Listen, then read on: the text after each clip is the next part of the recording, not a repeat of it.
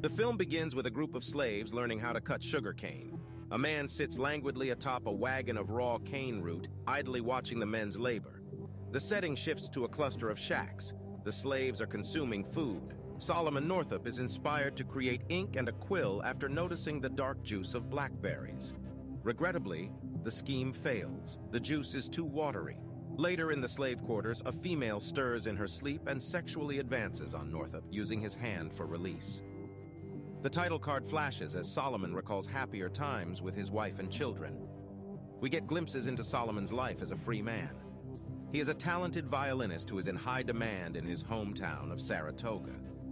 Later that night, after putting the kids to bed, he talks with his wife, who will soon take the kids with her to work as a cook. He mockingly expresses his resentment at being deprived of her cooking. He sees them off in a carriage the next morning. Later that afternoon, he meets a friend who introduces him to two travelers, Brown and Hamilton, who claim to work for a circus-style show. They offer him a large sum of money to accompany them to Washington, D.C., and promise his return before his wife returns. He agrees to accompany them. The trio is next seen in a restaurant in Washington, D.C. His clients deposit a bag of coins in excess of the agreed-upon amount. They share wine, and one of them keeps a close eye on Solomon as he empties his glass. Everyone is having a wonderful time. Solomon wakes up in a dank cell, chained to the floor. In a series of flashbacks, we see his friends carry him up to his hotel room, apologizing to other guests for his drunken stupor. Brown tells Hamilton that time is running out and that they need to get this over with. The flashback concludes with their departure, and we rejoin Solomon in the cell, where he is informed that he is a runaway Georgia slave. He has no papers, despite his protests of being a free man. Solomon is beaten mercilessly and eventually thrown into a slave pen with others. He discusses his predicament with Clemens, an apparently educated slave who advises him on the gravity of their situation. Soon after, a mother, Eliza, and her daughter are brought to the pen to join a captured son. She tries to keep a brave face while realizing the impending tragedy. They are dragged from their cell, chained, and transported to a riverboat under the cover of darkness. They are led to the hold, which is already crammed with other human cargo. Clemens reiterates his recommendation that Solomon keep a low profile and deny his ability to read and write. They come across another slave, Robert, who wishes to revolt and seize control of the ship. They weigh their options before deciding to be cautious. Later that night, a slaver arrives at the hold and wakes Eliza in order to rape her. Robert tries to intervene in the rape but is stabbed and killed. Clemens and Solomon are accused of disposing of the body in the river, prompting Clemens to remark that Robert is better off dead. They eventually arrive at a dock. Clemens's master is waiting for them and demands the return of his stolen property right away. Clemens gratefully scampers down into his master's embrace, abandoning all evidence of his previously demonstrated intellect. Solomon's only friend has died, a slaver, ironically named Freeman, calls his new property to their feet after disembarking by announcing their names. He addresses Solomon as Platt, which he clearly does not recognize. Solomon receives a slap for denying the name. The humiliation of Freeman's slave operation is demonstrated by naked slaves bathing in buckets at his offices. Inside, he delivers his sales pitch to eager customers. A wealthy plantation owner, Ford, expresses an interest in Platt and Eliza. She begs him to take her children as well, but Freeman refuses and quickly sells her son to another buyer. Ford tries to buy her daughter, clearly of mixed ancestry, but Freeman refuses to lower his price. Ford can only afford two of them. Eliza is distraught and screams angrily, disrupting the sale.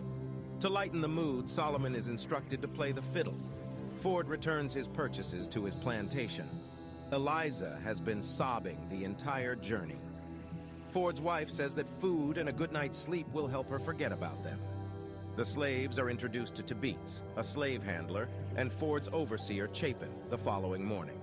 As the slaves work, Tibeats sings a mocking song warning them not to flee. They keep chopping wood until they come across a small band of native people with whom they share a brief respite. Solomon notices a stringed instrument and recalls his own violin. The next day, Solomon approaches Ford with a novel idea to transport the lumber via the river against Clemens's advice.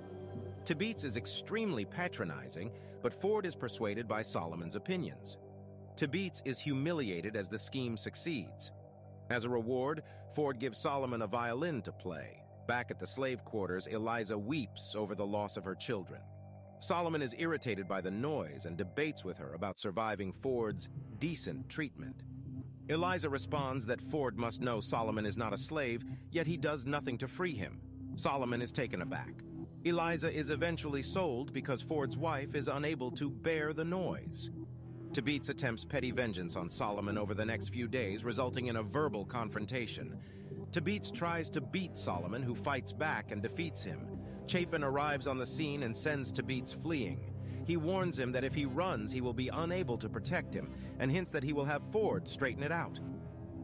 Later, we discover that Tibeats has gathered a gang of thugs to lynch Solomon for daring to oppose him. When Chapin returns with guns drawn, they have the noose around his neck and are preparing to hang him. He chases them away, but Solomon remains on tiptoes, barely able to support his weight. Punishment for striking a white man.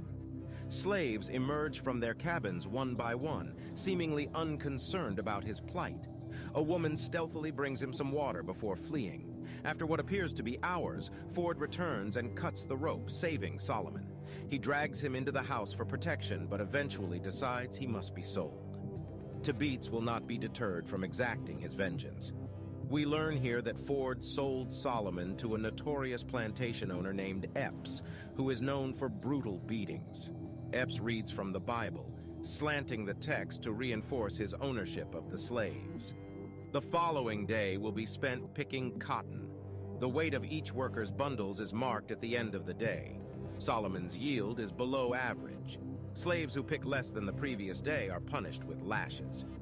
Meanwhile, Patsy's output nearly doubles that of the best worker. Epps circles Patsy and lavishes her with compliments. He is clearly taken with her, and his wife is not pleased. Epps enters the slave quarters and awakens them, resulting in an impromptu dance in which Patsy is the center of attention. Patsy is brutally scarred when Epps' wife throws a heavy crystal decanter at her face. She demands that Epps sell Patsy, but he says he would rather send his wife away than lose Patsy. Mistress Epps dispatches Solomon on a shopping trip. She gives him a list and observes him reading it. She emphasizes that he should not do it again. Solomon is inspired to flee on his way to the store, but he stumbles into a lynching. His spirit is broken after witnessing the fate of the two men, but he continues to the store. Seeing the paper, he decides to bring a spare sheet with him every time so that he can write a letter. Epps sends Solomon to a nearby plantation owned by Shaw sometime later. Shaw married one of his slaves, elevating her status, at least on his plantation. Patsy is there to enjoy the finery but Epps is apparently jealous that Shaw might try to better. Solomon persuades Patsy to join him after a brief break. When they return to Epps' plantation, he is clearly inebriated. Solomon suggests to Patsy that she avoid Epps, which Epps interprets as a sexual advance. Mistress Epps intervenes after a drunken chase around the yard, if only to express her disgust at her husband's obsession with Patsy. Epps stumbles to the slave quarters later that night and rapes her. Mistress Epps has had enough of her husband's affair and harshly slashes Patsy's face. Patsy later begs Solomon to strangle her and dispose of her body. She can no longer bear the weight of Epps's rapes and his wife's anguish. Despite her entreaties, Solomon refuses. We learn later that Epps's cotton crops have been destroyed by insects. Two crops have been lost so he decides to lend his slaves to a judge who can use them and pay off the mortgage on their purchase. This brings us back to the beginning, where Solomon is cutting sugarcane. The judge notices Solomon's talent and refers him to a neighbor in need of music for a party. As an added bonus, the judge says Solomon is free to keep any wages he earns. The party is fancy dressed, and Solomon clearly sees parallels between his former life as a free man and his forced servitude. The party has come to an end, and it's time to head back to Epps' farm. Patsy's bloody eye indicates that her torments have not ended as Solomon approaches the house. The cotton crop has arrived, which means it's time to return to the fields. This time, they are joined by a white laborer, Armsby, who is picking in order to earn money and get back on his feet. Despite producing far less than any other worker, he is spared the whipping that all other slaves receive. He tends to Solomon's wounds and tells his story in the quarters. He appears to be a decent individual with a sympathetic ear. Solomon decides to put his trust in him by sending a letter north in the hopes of gaining his freedom. He gives Armsby his entire party earnings and swears him to secrecy. He will have the letter delivered to him in two days. Solomon begins by making ink and writing the letter.